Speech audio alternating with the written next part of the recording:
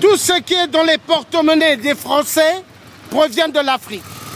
Alors là, vous avez euh, des bureaucrates, euh, des multinationales, des vampires, assassins en Afrique. Voilà, c'est eux qui tuent le peuple africain pour mettre leur costume de sang. Voilà.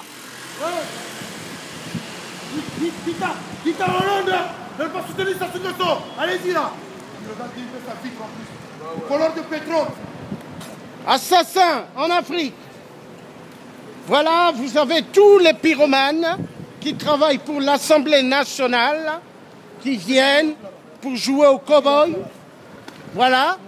Au lieu d'aller voir Daesh, ils viennent vers nous. Nous, on n'est pas des terroristes. On veut qu'on nous laisse tranquille. On a le droit de s'exprimer. On n'est pas dans la jungle. Voilà. Donc arrêtez de voler les minéraux en Afrique. Arrêtez de tuer le peuple africain.